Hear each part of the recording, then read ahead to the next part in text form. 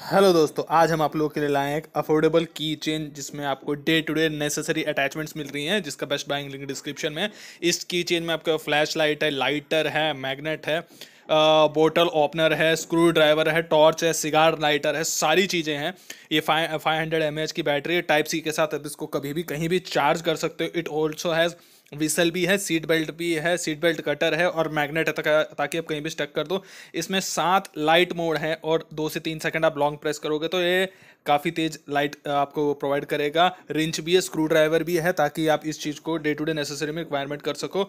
और necessary tools हैं जो आपको डेली यूज़ होंगे और बेस्ट बाइंग लिंक डिस्क्रिप्शन में वहाँ से चेकआउट कर सकते हो दोस्तों।